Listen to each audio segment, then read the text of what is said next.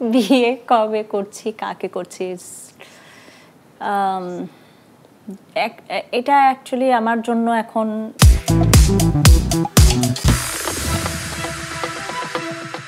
আজ আমরা আমাদের বিনোদন সারাদিন স্টুডিওতে পেয়েছি এমন একজন বিশেষ মডেল এবং অভিনেত্রীকে, যিনি ছয় বছর পর ইউএসএ থেকে ছুটি কাটাতে আমাদের দেশে ফিরেছেন। তিনি হাসলে যেন আমাদের সবার হৃদয় জুড়ে শীতল হাওয়া বয়ে যায়। ভক্তদের মনের উঠোনে মেঘ হয়ে ঝরে পড়েন তিনি। হ্যাঁ দর্শক দের something in the air she is magic she is fantastic she is none other than Mona Lisa একাধিকবার মেরিল প্রথম আলো পুরস্কার বিজয়ী প্রিয় মোনালিসায় থাকছেন আজকে আমাদের হট সিটে। চলুন আর দেরি না করে তার সাথে আড্ডায় ঢুকতেই। ওয়েলকাম ব্যাক কেমন আছেন? ভালো আছি আপনি কেমন আছেন? আমিও ভীষণ ভালো আছি আর এই মুহূর্তে অনেক বেশি ভালো আছি। পাক্কা ছয় বছর পরে আপনি দেশে ফিরলেন মাঝে এই যে এত লম্বা বিরতি আপনাকে সবাই আমরা ভীষণ ভীষণ মিস করেছি। এত লম্বা ব্রেক কেন? আসলে ইউএসএতে আমি যেহেতু ওখানে আমার জব আছে কাজে অনেক ব্যস্ততা এই কারণে আসলে কোভিডের পর আসব আসব করে হয়নি আসাটা তো এবার মানে হুট করে প্ল্যান করে ফেললাম যে সবাইকে সারপ্রাইজ দিব। আমি প্রতিবারই প্ল্যান করি যে সারপ্রাইজ দেওয়ার জন্য। যেহেতু আমার মা আছে আমার ফ্যামিলি আছে বন্ধু বান্ধব সব সবাই আছেন এখানে।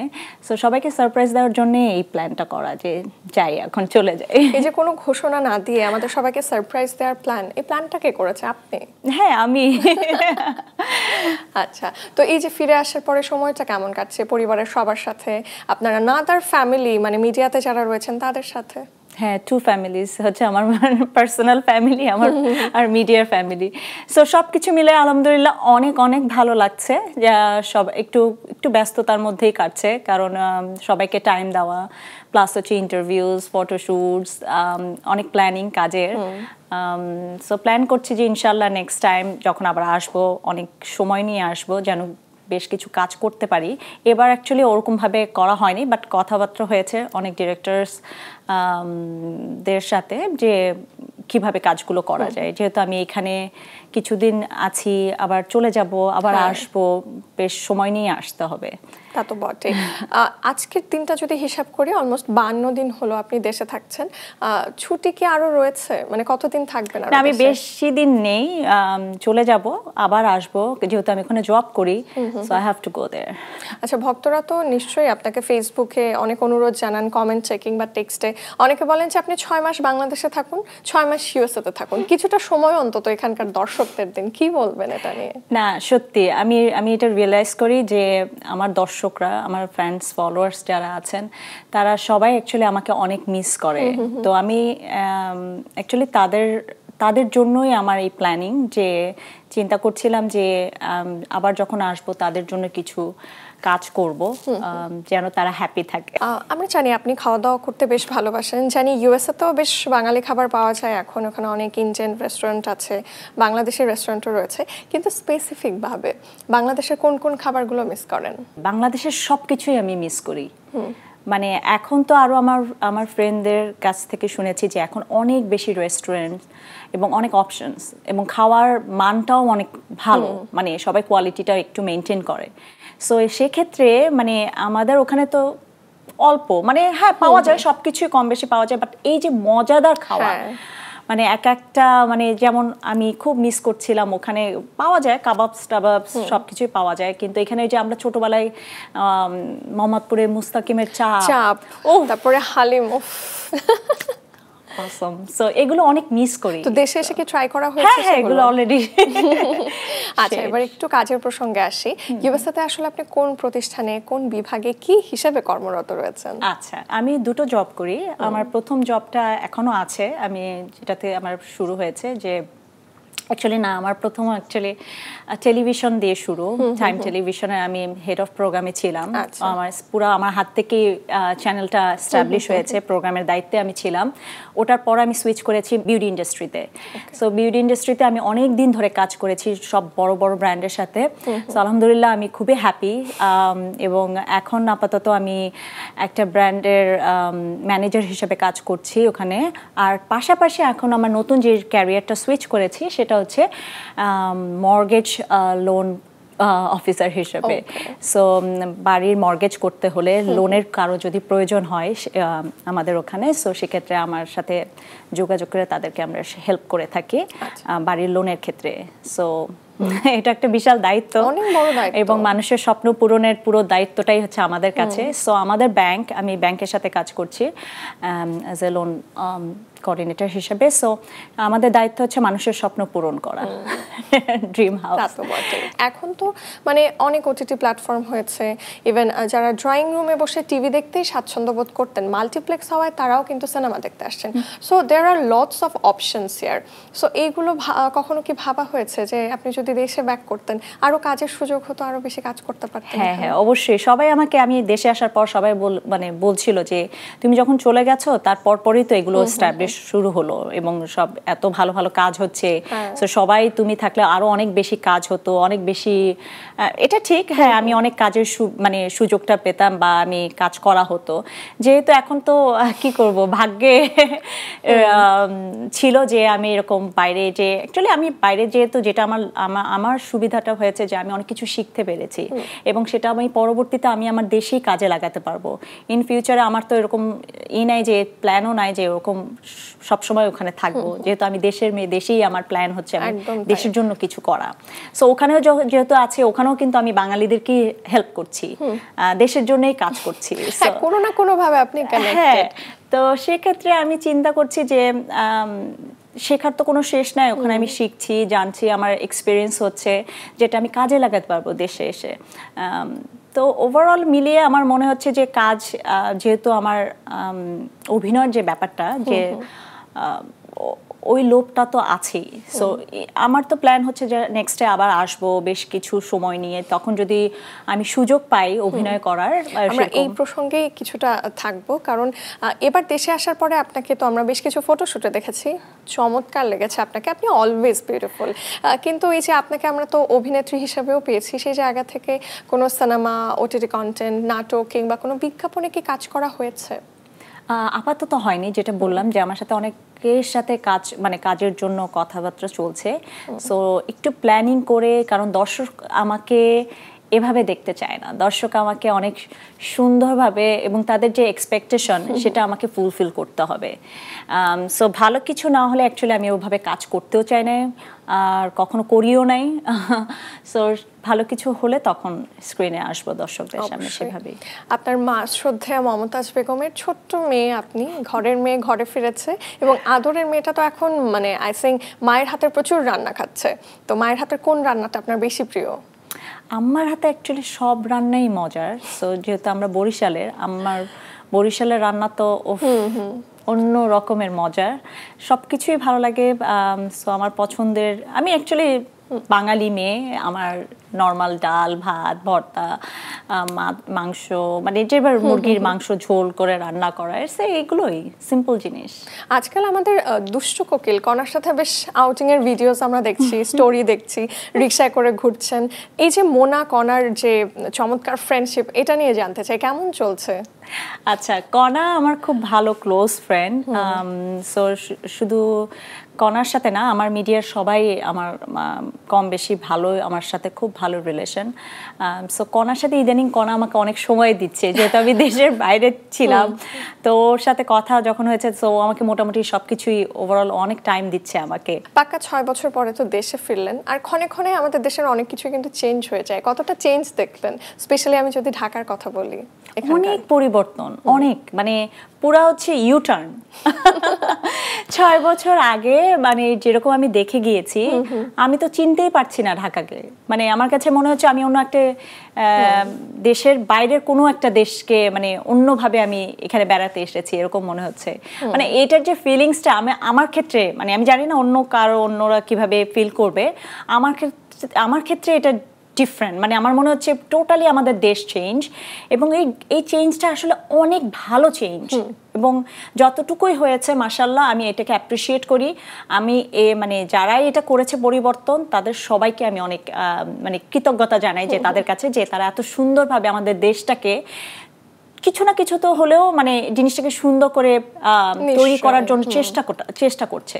চেষ্টাটা অনেক বেশি ইম্পর্টেন্ট আমরা দেখলাম যে সুপারস্টার শাকিব খানের সাথে একই সাথে এবং দল বেঁধে রীতিমতো আপনারা তুফান সিনেমাটা উপভোগ করলেন এবং সিনেমা দেখার পরে আপনি বলেছেন যে তুফান এমন একটা cinema which is best ever in Dhallywood industry সেটা নিয়ে একটু জানতে চাই কতটা এনজয় করলেন? It's true it's true really true কারণ হচ্ছে সবাই আমাকে বলেছে মানে সিনেমা দেখাটা দেখার পর জিজ্ঞেস করছে যে আপনার কি এরকম মনে হয়েছে সিনেমাটা একটু কপি বা সামথিং এরকম আপনার? আমি বলছি ভাই আপনারা এটা নিয়ে আমরা কেন কথা বলব? যে আমাদের কথা বলা উচিত আমাদের আমরা কি পজিটিভ ভাবে আমরা আহ, আমরা কাজ করেছি? বা আমাদের সিনেমার আগের যে ব্যাপারগুলো ছিল সিনেমার যে পরিবর্তনটা একটা লুকিং এর ব্যাপার একটা মানে পুরো ওভারঅল মানে সিনেমা এখন মনে হচ্ছে যে আমি মানে অন্য রকম যে পর্দায় যে দেখছি যে গেট আপ থেকে শুরু করে ডায়লগ সাকিব খানকে তো চেনাই যাচ্ছে না। হ্যাঁ, শাকিব খান। নতুন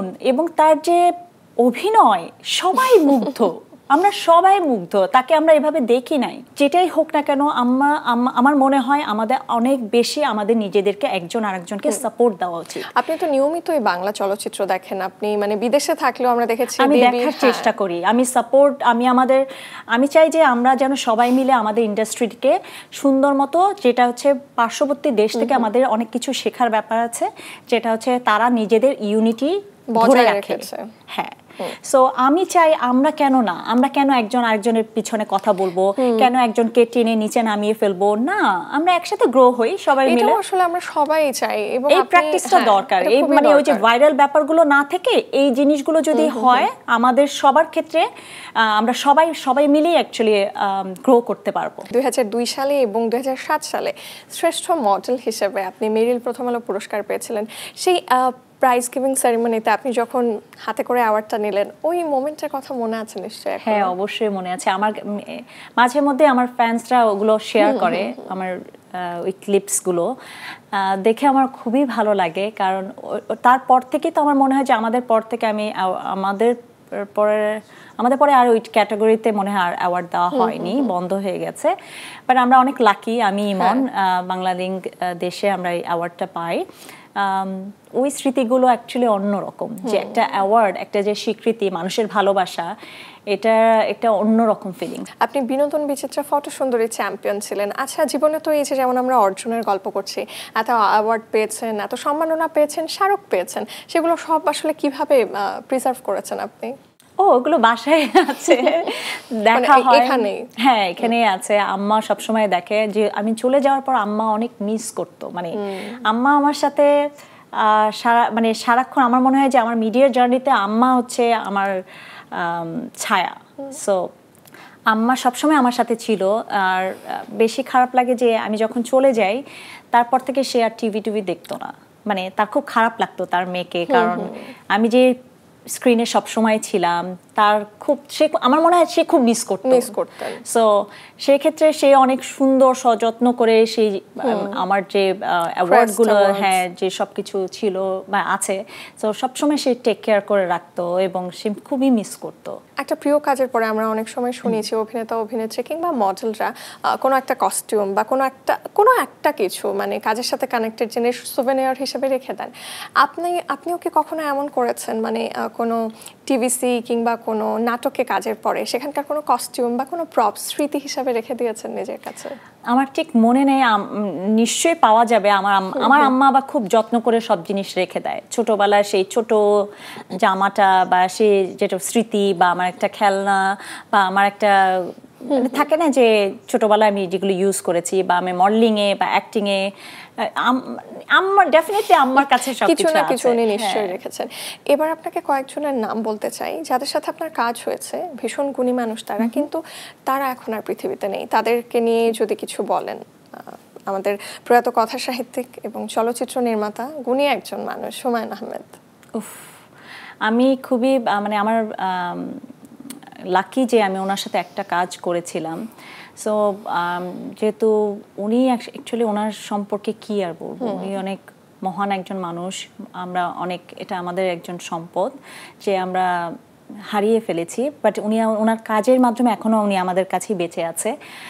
সো অ্যাকচুয়ালি হারিয়ে যাওয়াটা অ্যাকচুয়ালি আমার মনে হয় যে এটা বলা উচিত না। আমারও বলা উচিত হয়নি। বাট তার সে আমাদের মাঝেই আছে। তার কাজ কাজের যে কাজগুলো আছে সেখানেই সে আছে, আমাদের মনে আছে, প্রাণে আছে। সো সে একজন মহান মানুষ। সো তাকে আমরা সবসময় স্মরণ করি। প্রয়াত অভিনেতা হুমায়ুন ফরিদি, তাকে নিয়ে কোনো স্মৃতি কি মনে পড়ে? আমার তার সাথেও একটি নাটকে অভিনয় করার সুযোগ আমি পেয়েছি। আমি তো তখন খুবই ছোট আমার খুব ভয় লাগছিল আমি ভেরি নার্ভাস তার সামনে আমার মনে ছিল আমার মনে আমার এখনও মনে আছে যে তার সামনে হয়তো আমি খুব কাঁপছিলাম। আমার ডায়লগ ডেলিভারি আমি কীভাবে দিব বা এটা আমি তখন অ্যাকচুয়ালি কি নতুন হিসাবে না অনেক ভয় লাগে যে আমি ঠিক মতো দিচ্ছি নাকি আমার যেটা ঠিক মতো দিচ্ছে হয়তো বা আমার কাছে মনে হচ্ছে আমি দিচ্ছি না বাট তারা বলছে না তুমি ঠিক মতোই দিচ্ছ। সো ওই ক্ষেত্রে আরে আমি সেই সময় আমার এখনও মনে আছে যে আমি খুবই নার্ভাস ছিলাম এবং তাকে দেখে আমি রীতিমতো মুগ্ধ। মানে এমন একজন মহান মানুষের সামনে আমি দাঁড়িয়ে অভিনয় করব ওই সাহসটা মানে ওটা ছিল আমার এক- একেবারে অন্যরকম। উনি খুবই একটু মুডি টাইপের ছিল হুমায়ুন ফরিদি। উনি আবার কথাও বলতো খুব সুন্দর করে। মানে কথা বলার থেকে কি তার কথাগুলো শোনার যে মুগ্ধভাবে মানে আমরা না সবাই তাকিয়ে থাকতাম যে কি সুন্দর করে কি মানে অভিনয় সব কিছু মিলে মানে অসাধারণ। তা তো বটেই। আমরা শুনেছি প্রয়াত বাংলাদেশের সেই সময়কার সুপারস্টার সালমান শাহের সাথে ছোট্ট মোনালিসার কোনো একটা মেমোরি আছে সেটা যদি বলেন। হ্যাঁ সেটা হচ্ছে উনি অ্যাকচুয়ালি আমাদের ফ্যামিলিগত মানে ফ্যামিলি ফ্রেন্ড ছিল। আম- আমার আম্মুর কাছে শুনেছি যে তাদের ফ্যামিলি এবং আমাদের ফ্যামিলি আমার আব্বুর ফ্যামিলি সবার সাথে খুব ভালো সম্পর্ক ছিল। সো আমাদের কাছে এখনও ছোট মানে অ্যালবামের ছবি আছে তার। সে আমাদের অনুষ্ঠান মানে থাকে না ঘরোয়া অনুষ্ঠান সে এসেছিল। সো যদিও আমার বলা হয় না কখনো কোথাও বাট আমার আম্মু আমাদেরকে বলেছে যে যে এরকম তারা আসতো। স্টিল এখনও তাদের সাথে তার- যোগাযোগ রয়েছে। তার খালার সাথে আমাদের খুব ভালো সম্পর্ক। সে আমেরিকাতেই থাকে। তো যোগাযোগ হয়। নির্মাতা মোহন খান গুণী সংগীত শিল্পী এন্ড্রু কিশোর এবং আরও একজন প্রথিত যশা অভিনেতা ইটিএম শামসুজ্জামান। তাদের সাথেও তো কাজের এক্সপিরিয়েন্স হয়েছে হ্যাঁ অ্যাকচুয়ালি হ্যাঁ। সবার সাথে আমার কম বেশি এক্সপিরিয়েন্স রাজ্জাক আঙ্কেল তার সাথে তো আমি স্টেজে অন স্টেজে আমরা পারফরমেন্স করেছি। সো এইসব অ্যাকচুয়ালি আমি অনেক লাকি আমি সেটা বললাম যে তাদের সাথে আমার একটু সুযোগ হয়েছে তাদের সাথে কাজ করার তাদের সামনাসামনি দেখার। তাদেরকে অ্যাকচুয়ালি আমরা সবসময় স্মরণ করি। এরা আমাদের গুণীজন। তাদেরকে সবসময় স্মরণ করি। এই কারণে যেন তাদের দেখেই আমরা এত দূর পর্যন্ত ইন্সপিরেশন হয়ে মানে তাদের ইন্সপিরেশনে আমরা এত দূর কাজ করতে পেরেছি বা উৎসাহ পাই। এবার আপনার কাছে যেটা জানতে চাইব I know it's a very common question nowadays বিয়ে কবে করছেন কাকে করছেন? বিয়ে কবে করছি কাকে করছি? এটা অ্যাকচুয়ালি আমার জন্য এখন জটিল প্রশ্ন। কারণ বিয়ে করলেই অ্যাকচুয়ালি করা যায়। আর কিন্তু প্রবলেমটা হচ্ছে যে মনের মতো মনের মতো আসলে মানুষ পাওয়া যায় না। কিন্তু যতটুকু চিন্তা যে একজন একজনের সাথে যখন লাইফ শেয়ারিং হয় এবং একটা mental understanding is very important আমার আমার কাছে মনে হয়। সব কিছুর থেকে একজন আরেকজনকে বোঝা এবং আন্ডারস্ট্যান্ডিংটা ইটস ভেরি ইম্পর্ট্যান্ট সো সেরকম মানুষ খুঁজে পেলে অবশ্যই যে কোনো সময় এবার আপনাকে কয়েকজন মানুষের নাম বলব তাদেরকে এক বাক্যে বিশ্লেষণ করতে হবে। জাহিদ হাসান। উনি খুব বিচক্ষণ মানুষ ভেরি ট্যালেন্টেড নোবেল। নোবেল ভাই উফ সৌন্দর্যের মানে সুন্দরের ডিব্বা। জয়া আহসান। জয়া আপু মুগ্ধতা। অপি করিম। খুব কাছের মানুষ এরকম মনে হয়। মোশারফ করিম। ফানি মোশারফ ভাই থাকলে হাসতে হাসতে পেট ব্যথা হয়ে যায় so it's very funny Mosharraf ভাই। চঞ্চল চৌধুরী। আপন মানুষ মনে হয় যে খুব caring Apurba. Dashing Afran Nisho. Charming Shahid Sharif Khan. খুব ইনোসেন্ট তাহসান খান। শান্ত। সজল। ও একটু হাইপার মানে দুষ্টুমি মজা করা মানে সব কিছু মিলিয়ে। ইমন। ভালো মানে গুড সোল সাব্বির আহমেদ। অনেক পানি অনেক অনেক মজার অনেক মজা করতেই অ্যাকচুয়ালি সে পছন্দ করে। আপনার সাথে কথা বলে খুব খুব ভালো লাগল। আসলে আমিও আপনাকে খুব মিস করছিলাম মাঝে পেয়ে ভীষণ মনটা ভালো হয়ে গেছে। বিনোদন সারাদিনকে সময় দেওয়ার জন্য অনেক ধন্যবাদ। আপনাকে অনেক অনেক ধন্যবাদ এবং আম, আমি আমার দর্শকদের বলতে চাই আহ, যারা আমাকে এতদিন ধরে মিস করছিলেন আপনাদের সামনে হাজির। আমিও আপনাদেরকে অনেক মিস করি। ইনশাল্লাহ নেক্সট টাইম আসব যখন, তখন অনেক ভালো কিছু কাজ হবে। শুধুমাত্র আপনাদের জন্য। আমার জন্য দোয়া করবেন। ভালো থাকবেন। আল্লাহ হাফেজ।